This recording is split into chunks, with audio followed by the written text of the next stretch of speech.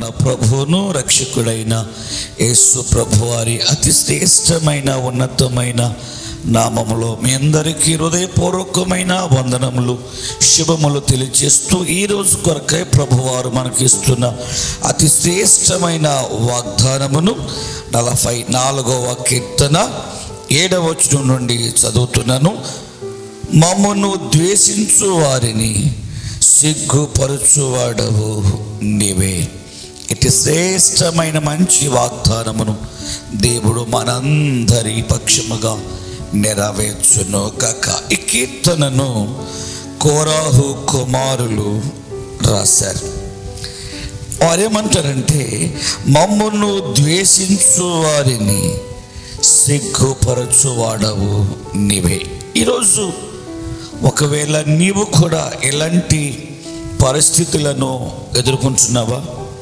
నీ రక్త సంబంధుల నుండి నీ బంధువుల నుండి నీ స్నేహితుల నుండి నీకు తెలిసిన వారి నుండి అనేక మంది నిన్ను సిగ్గుపరుస్తూ ఉన్నారా బాధిస్తూ ఉన్నారా గాయపరుస్తూ ఉన్నారా నిందలు వేస్తూ ఉన్నారా అనేక ఎదుట నిన్ను సిగ్గుపరచాలని ప్రయత్నం చేస్తూ ఉన్నారా అయితే ఎవరైతే నిన్ను సిగ్గుపరచాలనుకుంటున్నారో ఎవరిని ద్వేషించాలనుకుంటున్నారో ఎవరిని మీద నిందలు వేయాలనుకుంటున్నారో ఒకరోజు నా దేవుడు వారిని సిగ్గుపరుస్తాను అని వాగ్దానం ఇస్తున్నారు నిన్నెవరు గాయపరిచారు?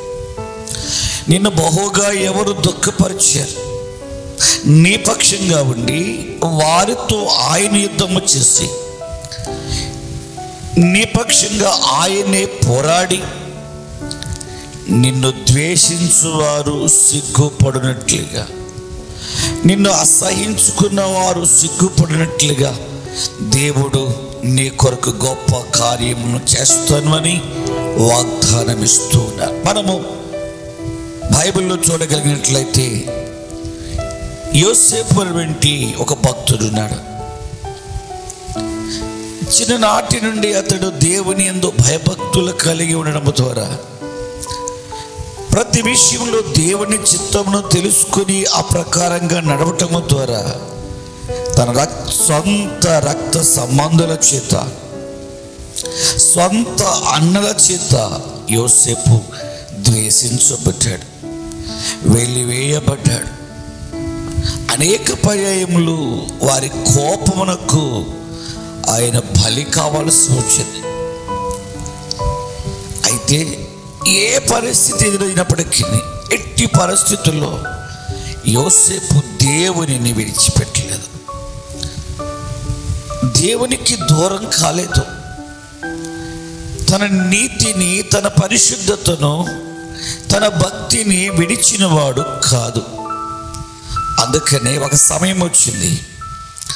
దేవుడు ఆయన ఎందు ఉద్దేశించినటువంటి ఉద్దేశములు నెరవేర్చబడే సమయం వచ్చింది.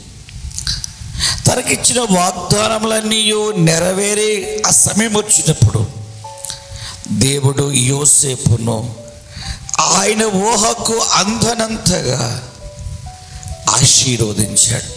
అంతేకాదు ఒకప్పుడు ఎవరైతే హేళన చేశారో ద్వేషించారు నిందల వేశారు అపహాసము చేశారు వారు అతని ఎదుట తల వంచేవారిగా సాష్టాంగపడేవారిగా సిగ్గుపడేవారిగా.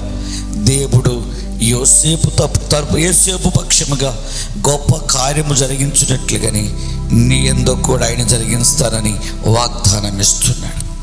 ఒకవేళ నీవు కూడా దేవుని బట్టి దేవుని నీతిని వెతికే క్రమములో దైవభక్తి చేసే క్రమములో ప్రార్థించే క్రమములో దేవుని మార్గంలో నడిచే ఆ విషయంలో నీవు ద్వేషించబడుతున్నావేమో అపహాసం చేయబడుతున్నావేమో నీ విశ్వాసమును దైవభక్తిని నీతిని పరిశుద్ధతను కాపాడుకోగలిగినట్లయితే ఎవరు నిన్ను ద్వేషించారో అపహాసించారో ఎవరిని మీద నిందలు వేశారో వారిని దేవుడు సిగ్గుపడినట్లుగా చేసి నిన్ను తల ఎత్తుకున్న వాణిగా చేస్తారు.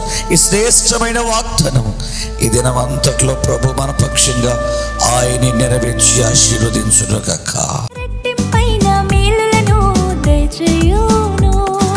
రక్షకుడైన యేసురాజు దయచేయును.